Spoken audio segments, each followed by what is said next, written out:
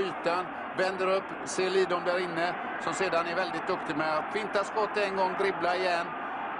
Och sedan när det nästan såg så att det var stängt, det såg stängt ut i princip, så får han ändå igenom den. Och 1-0 för Sverige. Wow! Och jag vet Glenn att det är väldigt lång tid kvar. Oh, det här kan bli farligt. Se upp nu!